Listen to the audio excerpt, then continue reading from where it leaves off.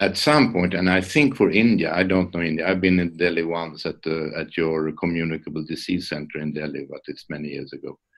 Um, I think you will soon create more harm than good with with a severe lockdown.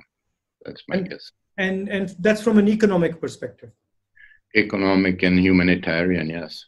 But I think for India, uh, you'd ruin your economy very quickly if you had a severe lockdown. I think it's better skip the lockdown, take care of the old and the frail people, and let the other people have the infection. Most people will not even be sick. They will not even notice they have it. It's a, it's a mild disease.